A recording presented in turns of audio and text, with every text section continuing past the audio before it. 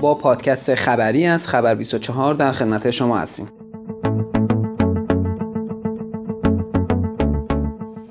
آزمایش موفقیت آمیز قطع اینترنت در روسیه. دولت روسیه پس از انجام چندین آزمایش مختلف اینترنت روسیه را به طور موفقیت آمیز از اینترنت بین الملل جدا کرد. این آزمایشات در طول چند روز و با مشارکت آژانس های دولت روسیه ارائه دهندگان اینترنت محلی و کمپانی های اینترنتی روسیه انجام شدند. هدف از این آزمایشات بررسی امکان فعالیت مستقل اینترنت ملی روسیه موسوم به رونت بدون وصل شدن به سیستم DNS و اینترنت بین الملل بود. در این آزمایشات ترافیک اینترنت به شبکه های داخلی تغییر مسیر داد. دولت روسیه با این آزمایشات شبکه RuNet را به بزرگترین اینترانت دنیا تبدیل کرد. هواوی تا پایان امسال برنامه های جایگزین گوگل را منتشر می کند این گونه که از شواهد پیداست تحریم های تجاری آمریکا بر هواوی تاثیرات خود را گذاشته و این غول چینی را وادار کرده تا جایگزینی برای برنامه های کلیدی گوگل ارائه دهد. بر اساس گزارشی که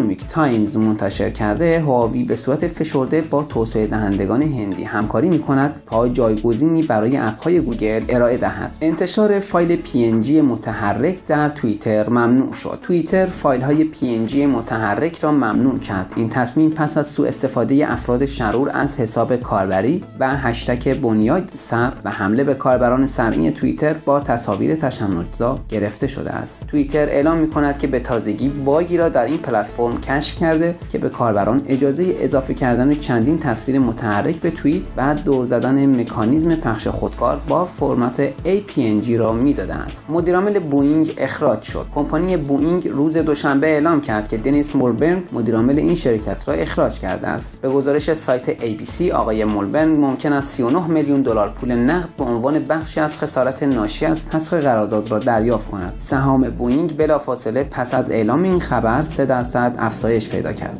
وقوع آخرین و خطرناکترین خورشید گرفتگی سال 2019 در روز کریسمس. سال 2019 و همزمان با کریسمس سومین و آخرین خورشید گرفتگی دهه به وقوع خواهد پیوست. دقیقا دو روز دیگر یعنی 26 دسامبر ساعت 10 و 43 دقیقه به وقت منطقه زمانی شرقی خورشید گرفتگی حلقه‌ای رخ خواهد داد.